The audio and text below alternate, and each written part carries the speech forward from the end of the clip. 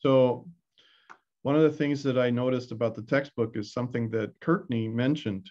The textbook does not number, and this is one criticism I have of the textbook and why I'm seriously considering just writing my own textbooks going into next year. I think I'm I'm just gonna I'm gonna do my own open source textbooks like the UVI library is doing for some faculty, where you write your own textbook and people just go online and there's no cost for it, right? Um, here's what I did for the resources link, right? See the resources, it has the Zoom link, but it also has resources, right? Maybe what I should do is rename this resources and Zoom link because it's really the first item here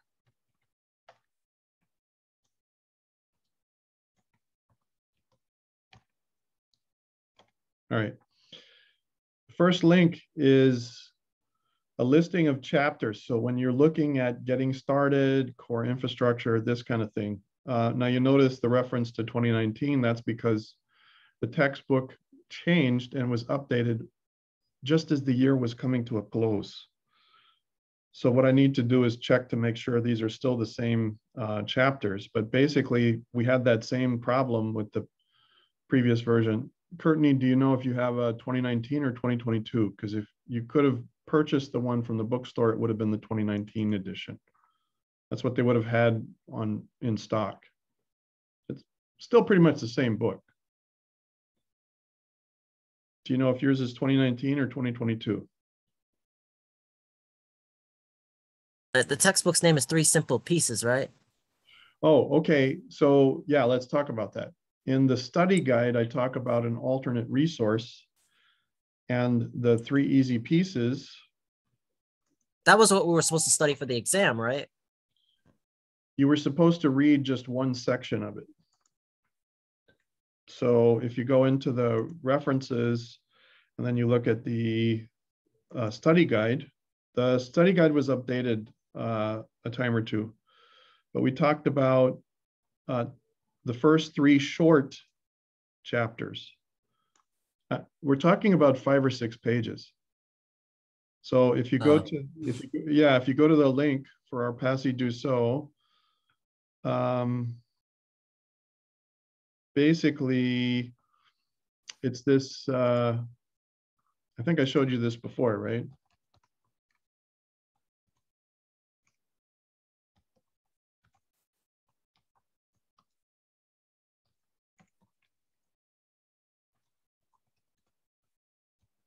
Yeah, I have three easy pieces. The thing was more really the pages. I just didn't really know where the um where the chapters were at first. It's really messy and to find it, especially considering it doesn't have a simple chapter table of contents. Right. Well, this is the free version. So they, they have a hard copy version uh, and it, it was used for other operating system courses previously.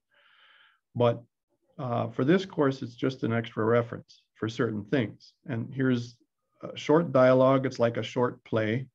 It's a page or so long. And then the introduction is a couple of pages and then another dialogue. And it talks about virtualization.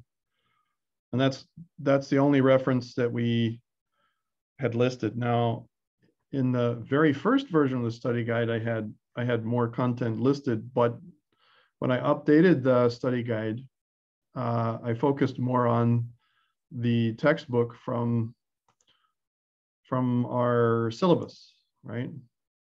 Which is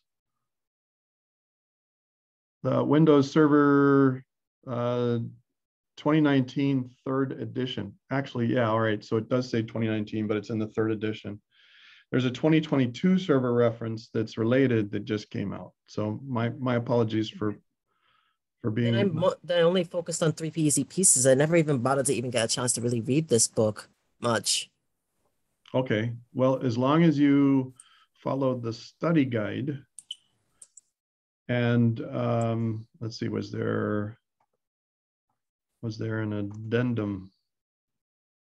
Did I did I have a supplement to the study guide? I did. So I had a study guide addendum and it was about installation types, right? Does this look familiar?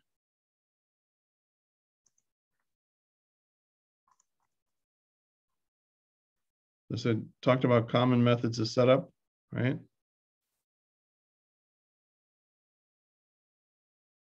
Mm, we talked about some of this in class.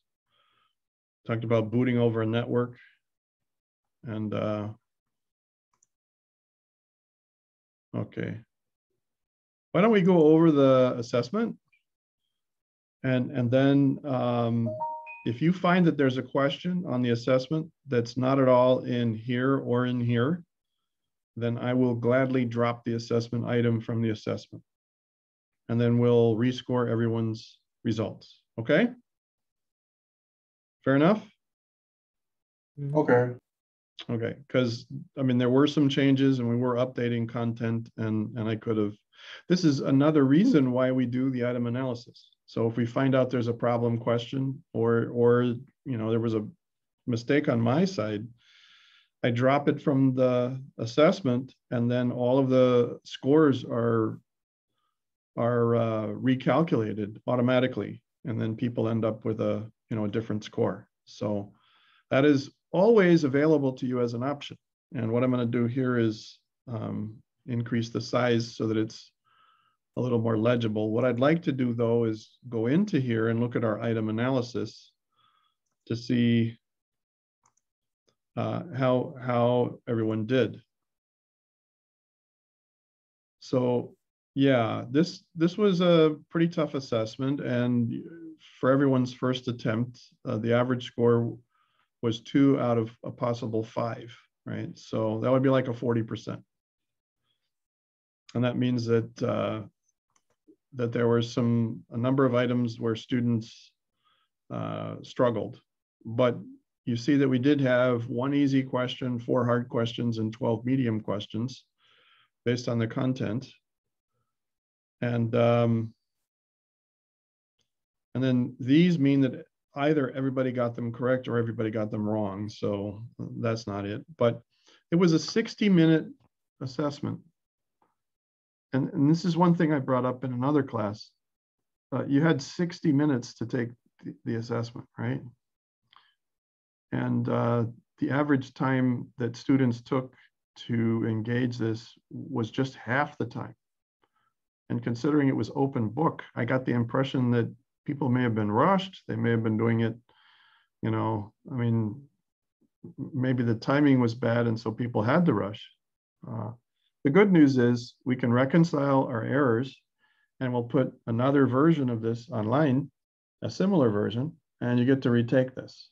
So uh, that's, again, that's one more reason why we uh, do what we do. I'm gonna go ahead and sort this uh, based on the highest scores versus the uh, lowest scores, and we'll work our way down. So at the bottom of the assessment items, we had some assessment items that were worth a half a point and um, most students got most of that correct because uh, you know it was a possible 0.5 and the average score was a 0.38 so most of the answers selected were correct uh, for this multiple choice item uh, it's worth a quarter of a point and the average score was a quarter of a point which means all students got this item correct completely but this multiple answer, which is worth a half a point, um, a little more than half got correct answers.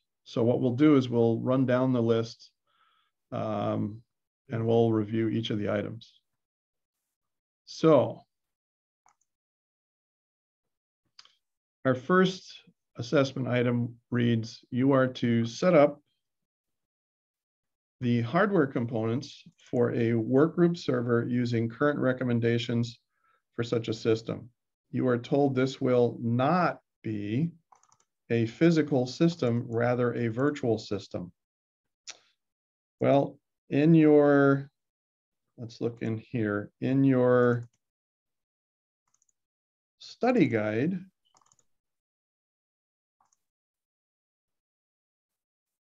Let's see, where are we? Hold up. Now I'm in the wrong place. There we go. Sorry about that. Give me a sec.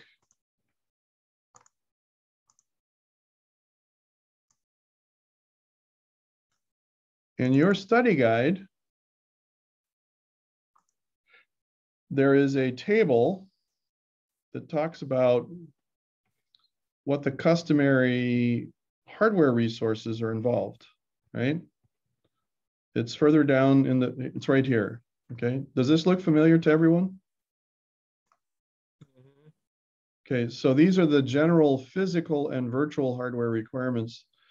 So basically, if you have a physical server that you're going to set up with an operating system, and it's going to be a gaming server or a media server, if it's a physical server, you should use 8 gigs of RAM, 160 gigs of non-RAID hard drive, and a standard gigabit Ethernet card.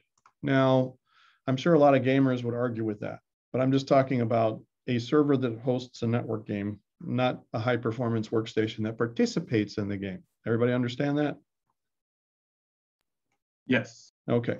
All right. A workgroup server. You have a small office and you have four to six people. That's a workgroup, right? Six, eight people max. That's a 16 to do a server for that. You would do 16 gigs of RAM. You would have a 320 gigabyte hard drive that's configured in a RAID 1, meaning there's redundant disks. You have a pair of disks that work in tandem. That way they're redundant. RAID stands for redundant array of independent or inexpensive disks. You would have dual gigabit ethernet because you have six to eight people. If one of your ethernet cords goes bad, you don't want everybody dead in the water. If one of your hard disks go bad, you don't want six to eight people dead in the water. Does this make sense? Kind of, sort of. Okay. When you talk about a mid-sized organization, you're doing something called network load balancing. You're using larger. The point is, is if you go physical, this is, you just read down the list. So we describe what it is it's doing, and then these are the hardware specifications required. But if it's virtual, it takes half as much, okay? So a basic rule of thumb is that virtual server requirements are roughly half what a physical server would require, except for the network bandwidth. Okay, that would remain the same. So that's where the answer to this question came from. Uh, are there any questions for this item?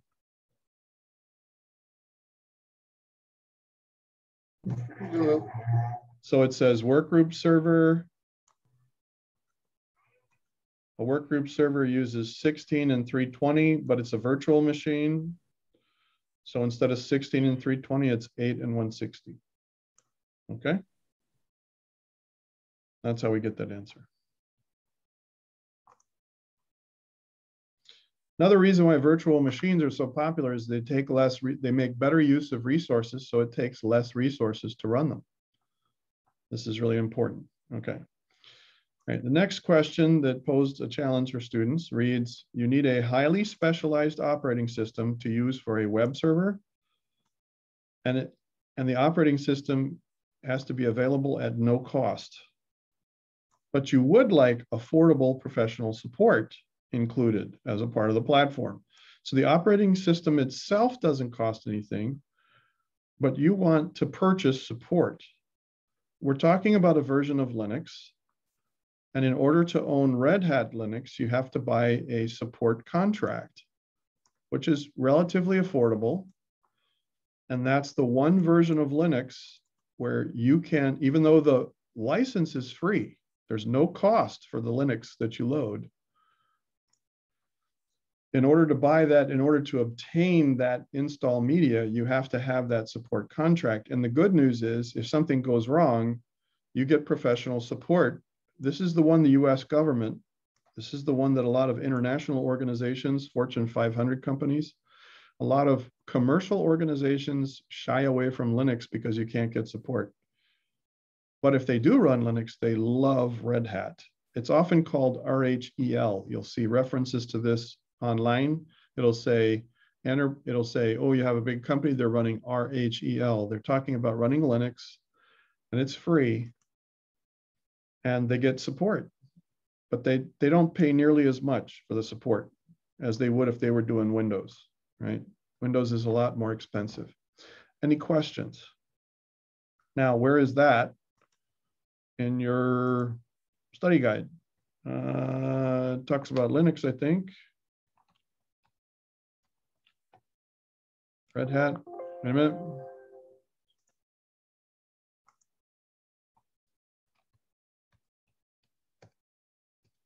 Well, let's.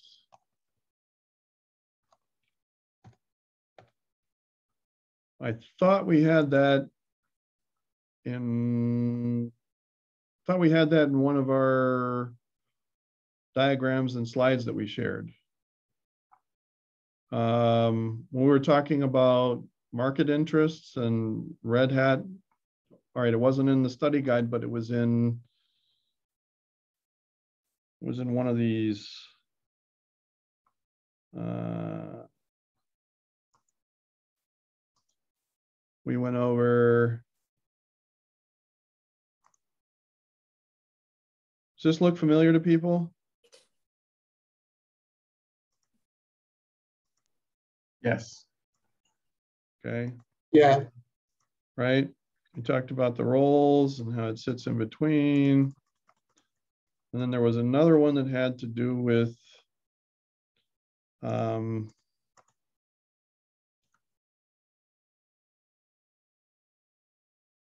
OS and hmm, it's in one of the folders. I I know it's in I know it's inside the references or resources folder, but it shows which operating systems to pick for which conditions. So uh, let's find that. Because I don't want you to take my word for it. Uh, hold on. No, that's not where I wanted to go. I wanted to go into here.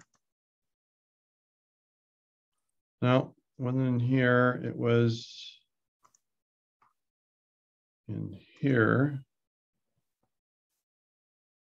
Software hash solution images. Let's build.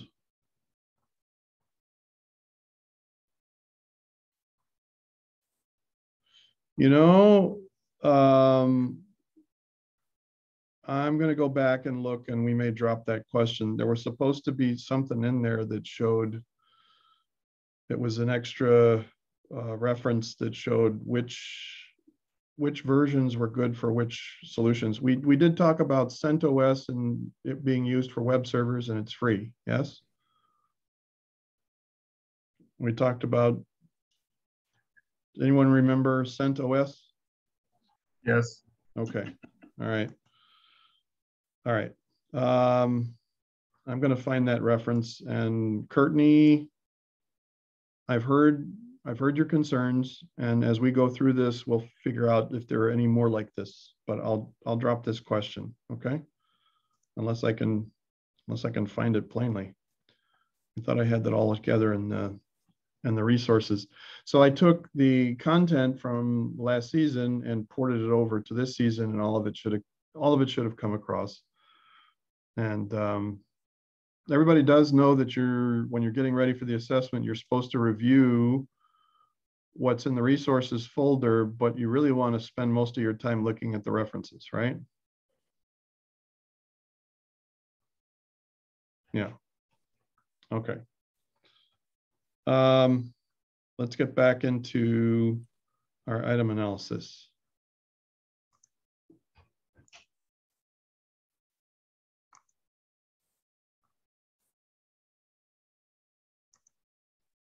So this was a question where students, this is a multi-answer question. And uh, the question reads, which method of Windows operating system install is considered a best practice for a given scenario? And when we said it's a single system, if you if you wipe the hard drive clean and start with install media and load typically now it's USB. It used to be a DVD disc. You would burn a DVD disc using an ISO. You'd have to get software to burn a disc. and you could load Windows. Nobody does that anymore. We use USB drives, but you create a USB media uh, install media with a spare USB drive that's 16 gigs or larger, and you wipe the system clean if it's a single system. Now, if you have multiple systems, the preferred way is to do uh, a template, like a an ideal setup for a system, and then you you capture that image after you run sysprep and you do a network PXE install, a PXE install for multiple systems. That's the automated, fastest, most, most efficient method. I know we covered this in class. Any questions about this one? No, no question. Okay. Now, the feature, the feature update uses a new version of Windows, but it loads it over the old version. If you buy a new version from a qualified vendor like Office Max and load it, you're loading a new version of the operating system on top of the old version. So both of those are not considered the best way to, to load Windows. Okay. And system recovery and reset is not reloading the operating system. It's not installing the operating system. It's simply resetting or refreshing the operating system. So if it's flawed, you're not, you're not I mean, it helps and sometimes it solves a problem, but a lot of times it doesn't. Any questions about this one? All right. Custom server, right? So the question reads, a server requires hardware components that are custom designed.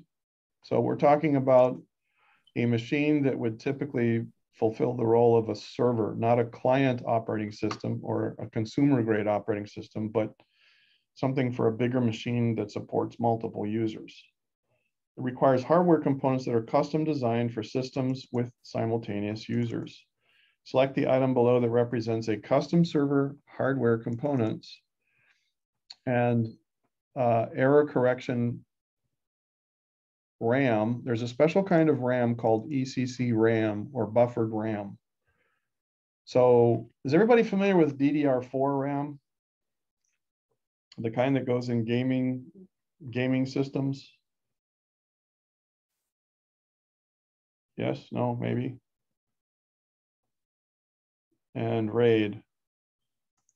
So if we look in our study guide,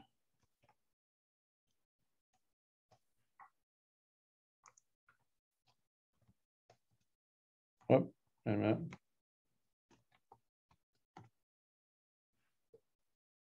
Uh,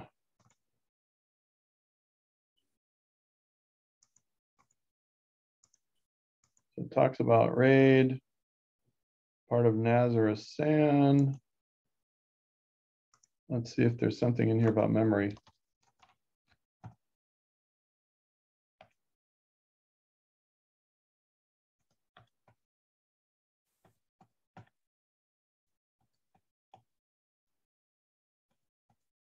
Yeah, I thought there was a reference in there about uh, server memory. So uh, again, that's a, a, question that we'll take another look at. And my apology. Um, let's keep going. We want to get as far with this as possible. So I'll do the same with this question. Uh, unless I can find a, a, a reference to ECC RAM. Um,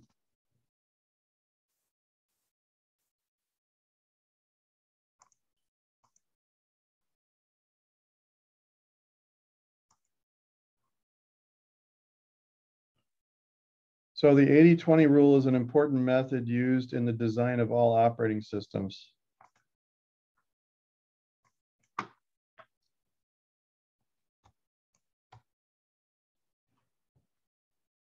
We didn't talk about this uh, in class specifically.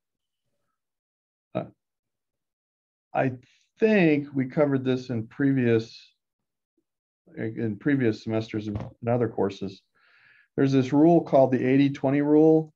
So essentially what they efficiency experts found out that that 80% of the time you use 20% of the features or 20% of the resources. uh, take a household toolbox, for example. If you, in your toolbox, you have a whole variety of tools. Let's just pretend that each of you have your own toolbox in your home and you have a, an adjustable wrench, you have a pair of pliers, you have some screwdrivers, you have some socket wrenches, you have a, a variety of different tools, right? And what, what efficiency experts have found out is that regardless of what kind of work it is, that 80% of the time, a person is only really using 20% of the tools or 20% of the resources, 20% of the available features, right? 20% of the available features are used 80% of the time. So when it comes to an operating system's design, an operating system will cache or prefetch the data to optimize that information so that the CPU can get quicker access to it. That, that's what this part of our uh, study guide talks about. Are there any questions about this? Oh. Okay. And I think that was a true false extra credit item. I think so. If you got that right, if you didn't get it right, it didn't cost you. It was it was false, right? It was. It said uh, 80-20 rule is an important method used in the design of all operating systems. It's false because um, wait a minute now. Oh, that would be, oh, I'm glad you called that out. In most, in most operating systems, uh, it is a design rule.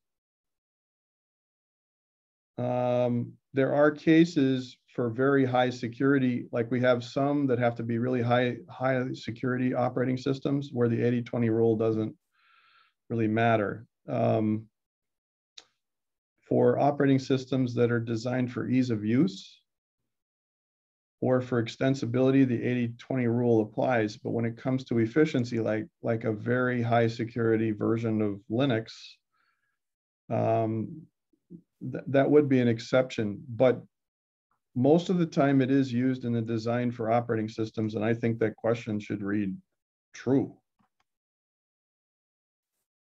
Uh, so so if you got credit for it, I'm not going to take it away. But if you lost credit, I'll go in there and I'll change it so that you get credit for that because it should be true. Um, I'm beginning to wonder if I got the right test or the right version of the study guide because uh, we've run into a number of uh, issues here. Um, and this is a higher number than normal. Let's keep going. And then when we get to the end of our class, we'll make a decision about this, okay? So once again, this is one reason why we do item analysis. So if we run into a snag, we, we can work through it. All right, uh, the importance of persistence. This is the question reads, it's multiple choice.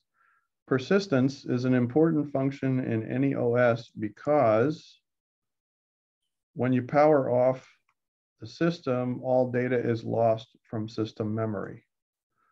So RAM empties out. Random access memory disappears. The data that's stored in RAM evaporates, it vanishes. And the reason you need persistence is because when you power off a system, you have to have a way of storing the data. And that is the correct answer here. Um, students answered when powered on, a multitasking system requires storage of active services. Uh, that's a tricky that's a tricky answer because active services are active services are stored in RAM and and ram is not has nothing to do with persistence ram is volatile memory and so you would not want to answer this one because when you're talking about active services you're talking about things that are running in ram and um, oftentimes what's running in RAM does not require storage. It all depends on the service. Some services just handle traffic. Um, you know, here, here's your DNS entry. Here's, you know, here's the here's where you find the gateway. It is just incidental to a situation, but when you power it off, it's not like uh, that's required. So I hope that explains this question. Any concerns or questions yet about this item? No, no question. Okay. So when you see stuff about active services, that's RAM and that's volatile, not persistent memory. That's why that one doesn't doesn't work. Courtney, are you okay? Mm-hmm. Okay. So it says, which edition of Server 2019 provides all the essential resources for a small professional practice or business, up to two dozen systems and 50 users? Essentials. There's a special version, there's a standard edition, and there's a data center edition, but there's a third version called Essentials.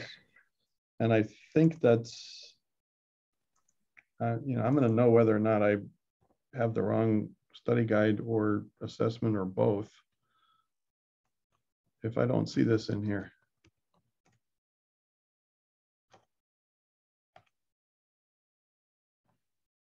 Everybody see this? Yes, see. So the only additions that have been available since Server 2016 are Essentials, Standard, and Data Center. And that's still true today, even with 2022.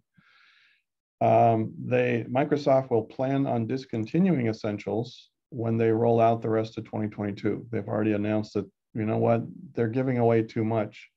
So for a small office uh, with two dozen users and 50 clients, um, Essentials works really well, and it has everything you need to start an Active Directory domain. Um, and I know that uh, as this as the versions have rolled out, they've retained Essentials, but they did announce that they were considering dropping this version or edition uh, when 2022 came out.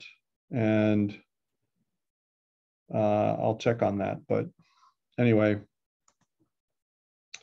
any questions about this item?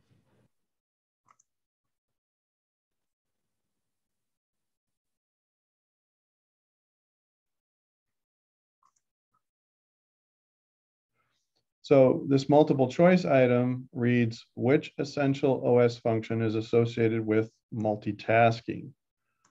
That would be concurrence. Persistence has to do with hard disk storage that's retained after the power is turned off.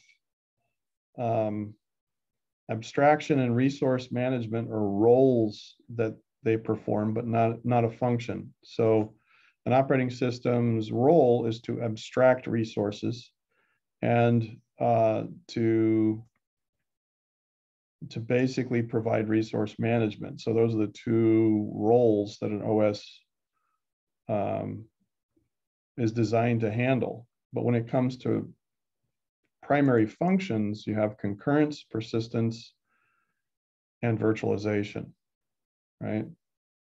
So it's concurrence that does that. Any questions about this item?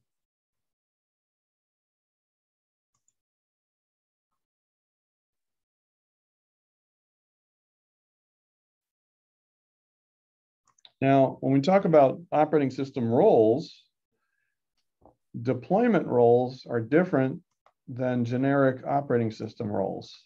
So Microsoft has a series of, you know, Microsoft wants to sell one server operating system and you choose what role it will fulfill when it's deployed. So in some cases, a server will be a file server. In other cases, it will be a, a network server. It'll do DHCP and DNS. In, in yet other cases, it'll be a database server or an application server, an email server, a web server. And one of the most common roles is the one that's used for websites. Internet Information Server is the deployment role that Microsoft uses for, it's called IIS, and that's when you, so you install the operating system and then you deploy it to fulfill a given purpose. That's what's called a deployment role. So if you have a lot of domains that people need, a lot of times uh, people use Google for their domain name service, but you can create that deployment role and run your own DNS server. And then if your internet service provider fails, you, you keep working on the internet. That's a really cool thing. Let me say that again. If you have Windows operating system set up and you choose to run DNS as a deployment role, there's very little overhead associated with it. But if your internet service fails and you can't browse the internet, you can't browse the web or do email, your own domain server, your own domain name server will perform what your internet service provider doesn't. So half the time you're, what am I saying? Half the time the ISP fails, your internet service provider fails on the island. Uh, if you have this running, you don't. You keep right on working on your internet. And you, you smile while everybody else is dead in the water. That's cool. And you're going to build one of those before uh, our next module, before our next module solution. You're going to create one of those. It's just that cool. But Internet Information Server is the web server.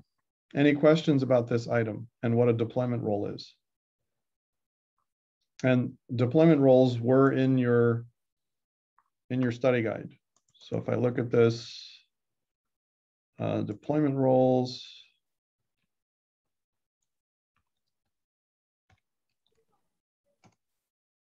yeah. Um, we talk about deployment roles and then there's a link. Uh, there should be a link when you get to this part. And there is uh, something about where, hey, so if you click this, it tells you all the different uh, deployment roles. And did everybody see this?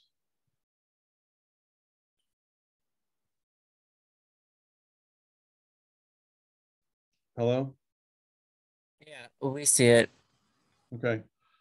Um, for the longest time, uh, Microsoft came out with a release two of a version. So 2003 had a release two, 2008 had a release two, 2012 had a release two, but 2016 actually did not. Uh, many people said 2019 is supposed to be 2016 R2. But Microsoft took a lot of criticism for having a second release. So they waited an extra year and they came out with 2019. They said, no, it's a whole new version of the operating system. It's not, it's not a second release of the same operating system. It's so new and improved. It's a whole new operating system. It was all marketing crap. That's really all it was. 2019 was supposed to be called release two. Uh, 2016.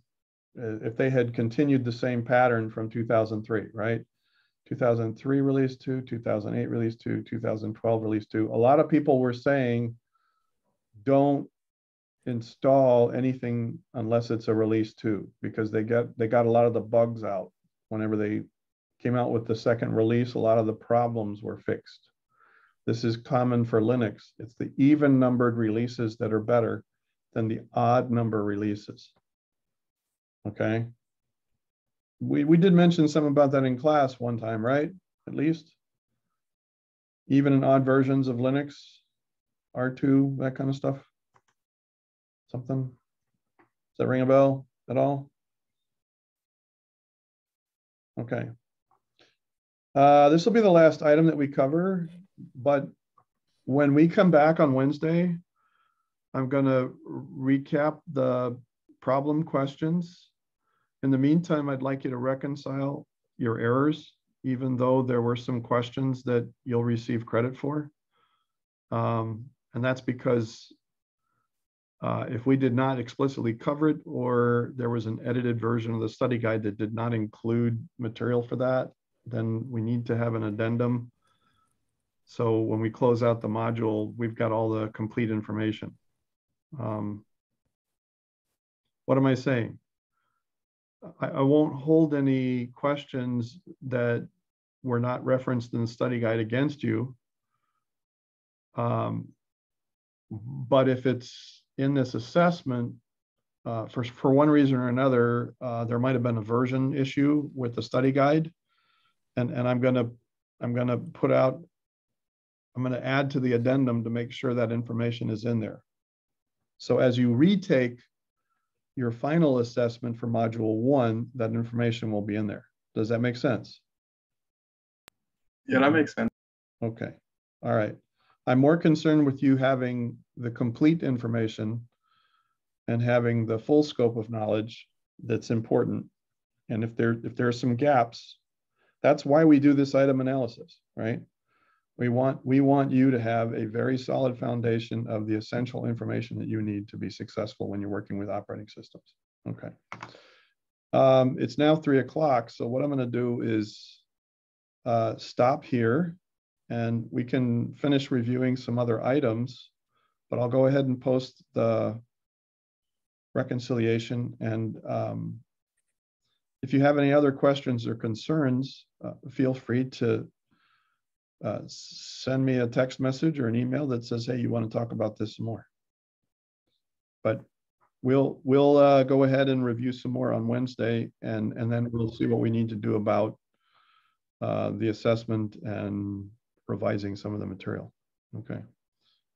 Thank you for your, thank you for being here today. And uh, unless there are any final questions, uh, I'm going to close out this session. Okay. Okay, bye, Dr. Kantor. Bye. All right. Okay. Okay. Bye-bye for now.